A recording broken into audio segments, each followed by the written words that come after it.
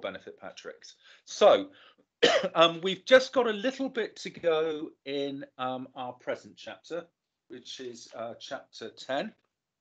So today I just want to really quickly talk you through that sort of lift type question that we sort of skirted over last time. Uh, it may be that you've already done the question, or, but I'll just quickly go over that. And then we're going to move on to pulleys, which is the last bit of the chapter. Izzy, you were saying you've done that already, so well done. And then that just leaves the mixed exercise and the, the unit test. Now, um, once we've done that, we've got we're just left with one chapter in AS mechanics, which is a very short chapter at the end, and it's just on variable acceleration. Now that just means that's just where we're um, integrating to go from acceleration to velocity and velocity to displacement and differentiating to go back the other way. So I really feel I can cover the basics of that with you uh, in 15, 20 minutes or so.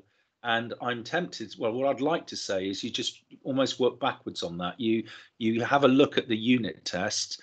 I reckon you, lots of you will be able to do that already just from being good on differentiation and integration, particularly after a 20 minute refresh. And if you find you can't do the unit test, then obviously just dip into the chapter as you see fit. So whilst we only have two lessons left before the end of term, I still think it would be really nice and just keep things clean if we can try and say, yeah, we've we've really pretty much got through the AS mechanics.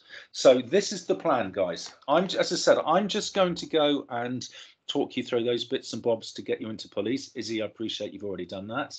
Um, and then Mrs. Miskin said she basically was um, happy not to teach you Friday period one. She said that really she would be starting a new chapter. So I can basically take that lesson Friday period one.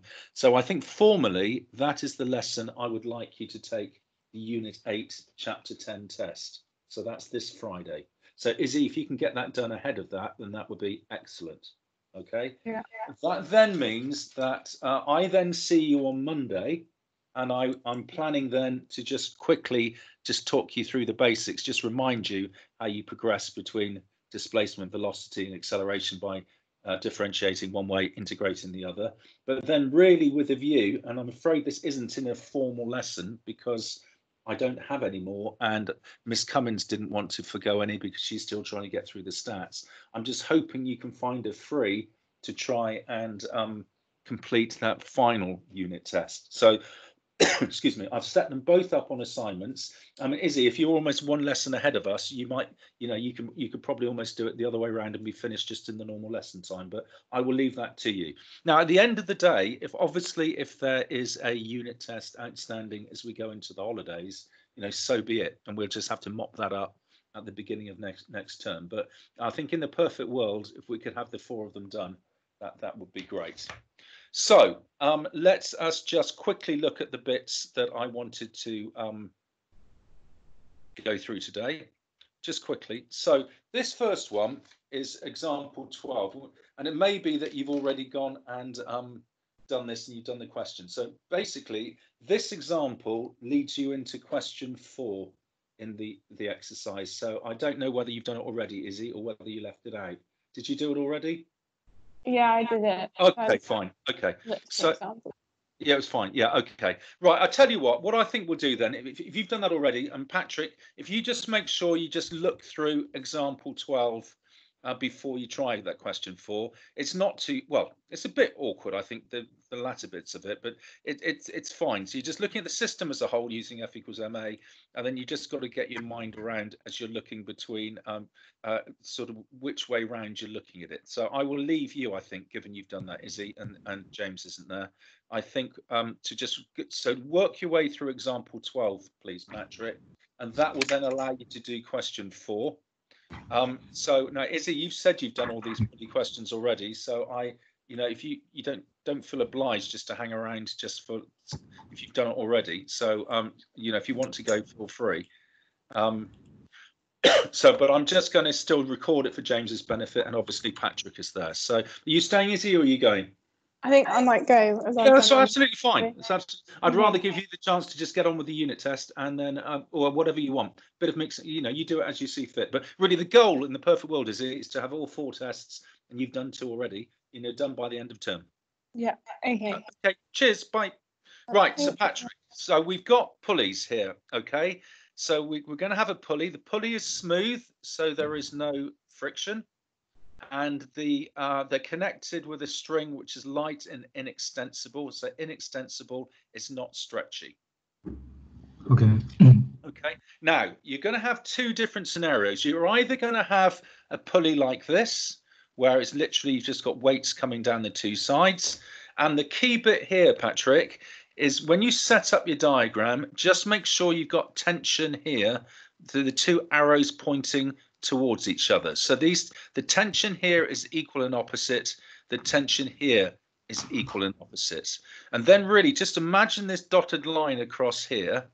And then really you can then basically look at P in isolation or you can look at Q in isolation.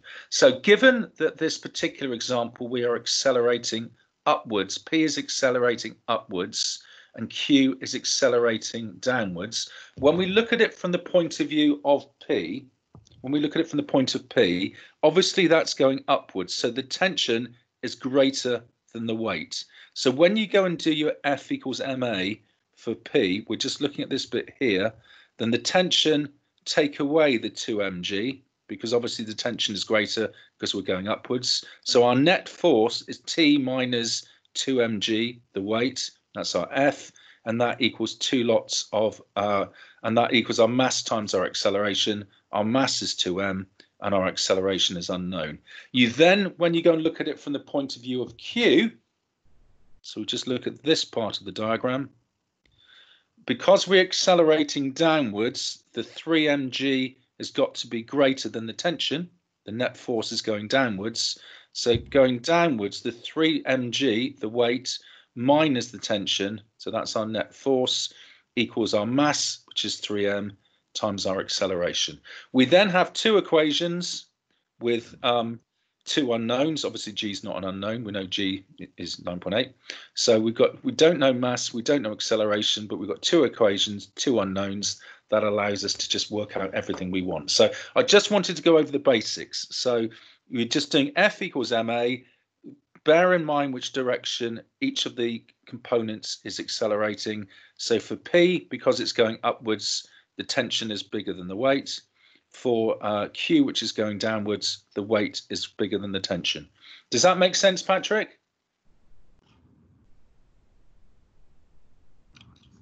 Yeah, yeah. Cool.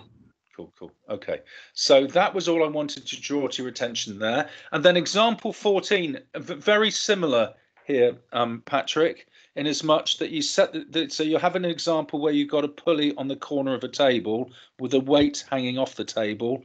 Um, the weight is heavy enough such that the whole system uh, is moving downwards. So B is accelerating downwards, A is accelerating at the same rate across the table. Again, the key learning point, I think, is set up these tensions here being equal and opposite with the arrowheads pointing to each other. So here and here. And then mm. again, you can just pop in these sort of dotted line here and this dotted line here. And that just basically means you can look at A in isolation and you can look at B in isolation. And it was just like before. So with when you're looking at A, so again, our starting point is F equals MA, as always. We are resolving in the direction of motion, which is left to right. Our tension must be bigger than our friction because we get we're moving to the right. So T minus our friction of 0.08 g equals our mass times our acceleration. And then when we look at it from the point of view of B, the, the weight must be greater than the tension because it's going downwards. So our 0.8 g minus T equals 0.8 A. So again, we end up with two equations and um, two unknowns. In fact, we only got the one unknown there. From that, we can work out what the acceleration is. And oh no, we could sorry, two unknowns, of course, the tension and the acceleration. So again, two two unknowns, two um, two equations, so we can just solve the simultaneous equation. And that's it, really, Patrick. I think those are just the key points. So, what would be great, Patrick, if you can just dot around and try and get some of the questions done in 10F, please. So that's that's really what I want you doing um, uh, this week. So try and work through 10F, and then with, with a view. I mean, you don't have to do the mixed exercise. That's as you know is just some extra questions. And so, um, Patrick and James, if you've joined us or you're watching the recording, uh, we've then got um, uh, Mrs. Miskin's lesson on Friday. So, period one on Friday. You won't be having a lesson from Mrs. Miskin. That's the lesson that's been set aside for you to please have a go at complete completing uh, the unit test eight. Okay, which I've set up as an assignment. Is that all clear, Patrick? Yeah, it's okay. Okay, thanks for joining, Patrick. Let me know if you get stuck on any of the questions, and let me know if you're not quite sure what uh, what the plan is. Okay. Okay, cheers, Patrick. Um, and obviously, uh, Izzy's left us already. Uh, James, James um, hopefully you're going to be picking this up on a recording. Okay, bye. Thanks for joining me, Patrick. Bye. Thanks. Bye.